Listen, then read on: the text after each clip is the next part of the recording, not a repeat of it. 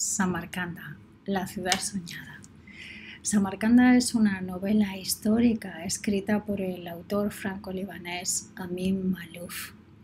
Fue publicada en 1988 y recuerdo que fue uno de los libros que más me impactaron en aquel momento. La novela se centra en la vida de un gran poeta y científico persa en el siglo XI llamado Omar Khayyam.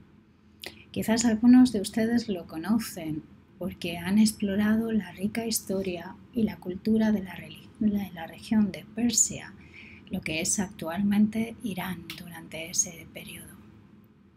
¿Qué me llama la atención sobre Samarcanda?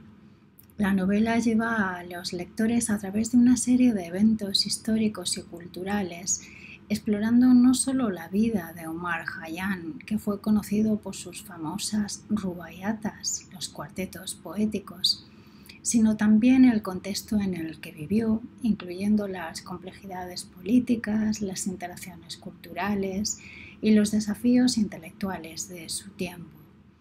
Samarcanda no solo es una ciudad, sino también una rica narración evocadora que mezcla elementos históricos con la ficción y nos sumerge a los lectores en la vida de Omar Khayyam, el ambiente cultural y los aspectos científicos de la antigua persa. Esta novela destaca la importancia de la poesía, de la filosofía, del pensamiento y de la ciencia en un mundo libre, libre en medio de los cambios y las tensiones.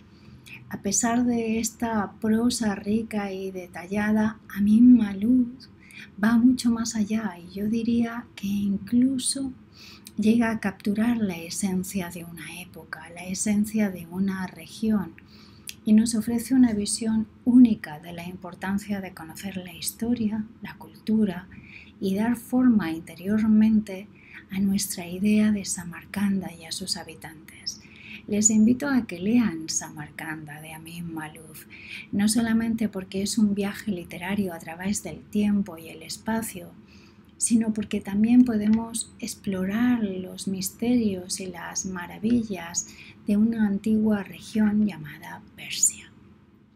Quisiera acabar con uno de los cuartetos más famosos de Omar Khayyam. Dime, ¿qué hombre no ha transgredido jamás tu ley?